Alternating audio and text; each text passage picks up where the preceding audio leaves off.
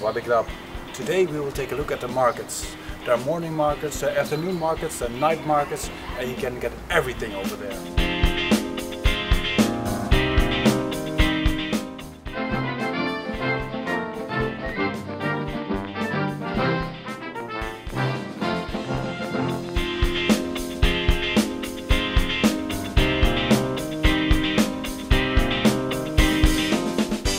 There are basically two types of markets. You have the tourist markets with a lot of souvenirs and you have the Thai markets with everything else.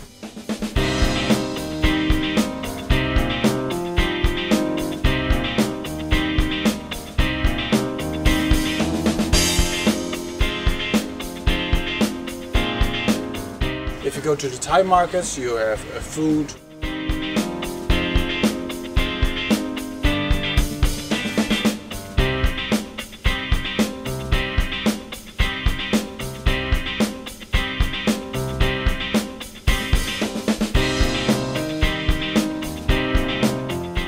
have clothing, you have more food.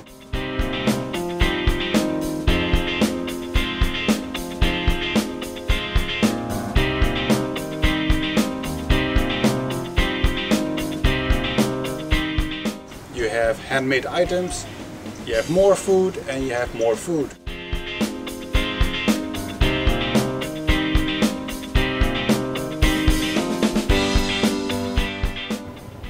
Always make sure what you buy is legal for export. So for instance, do not buy weapons, do not buy fake brand clothing or other items, uh, do not buy ivory, do not buy uh, live animals or genuine antiques.